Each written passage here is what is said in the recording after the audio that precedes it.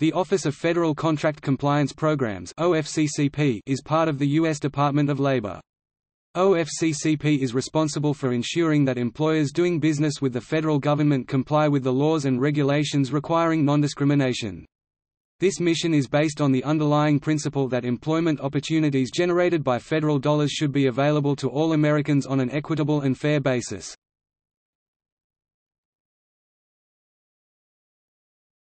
Topic: Statutes and executive orders.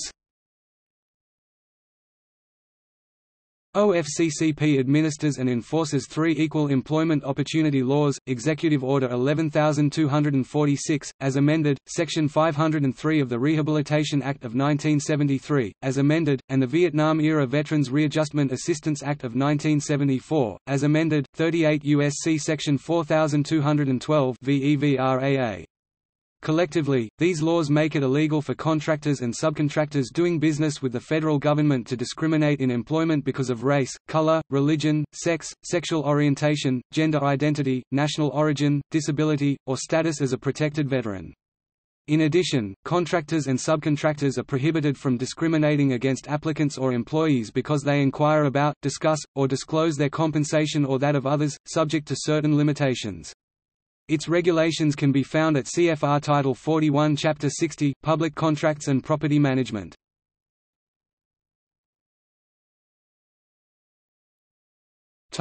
Agency history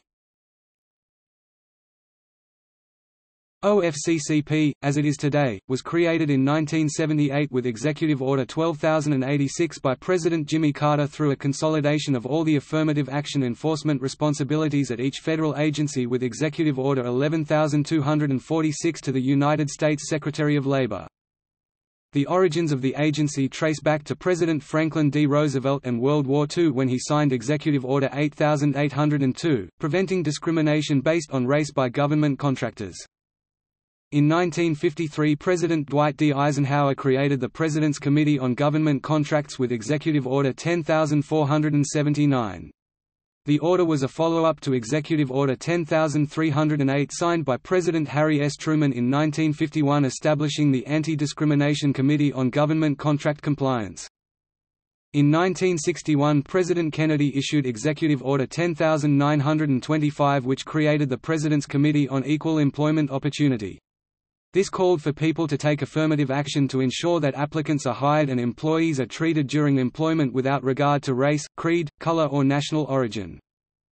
On September 24, 1965, President Lyndon B. Johnson signed EO 11246 transferring responsibility for supervising and coordinating the federal contract compliance from the President's Committee to the Secretary of Labor who established the Office of Federal Contract Compliance OFCC.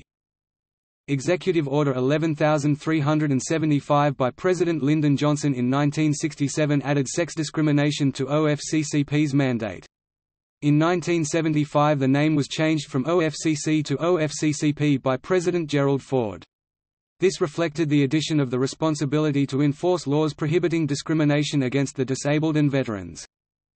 The agency has recently helped develop new applicant and record-keeping regulations covering Internet applicants. Topic organization There are six regional offices, Mid-Atlantic, Midwest, Northeast, Pacific, Southeast, and Southwest and Rocky Mountain SWARM. .In the national office there are three divisions, Management and Administrative, Policy and Program Development, and Program Operations.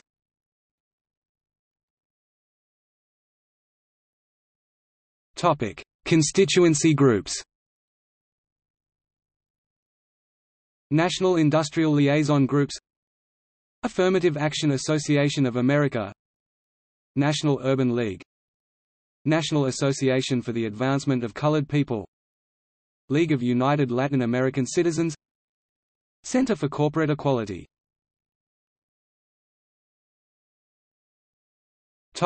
See also. List of OFCCP Deputy Assistant Secretaries. Equal Opportunity Employment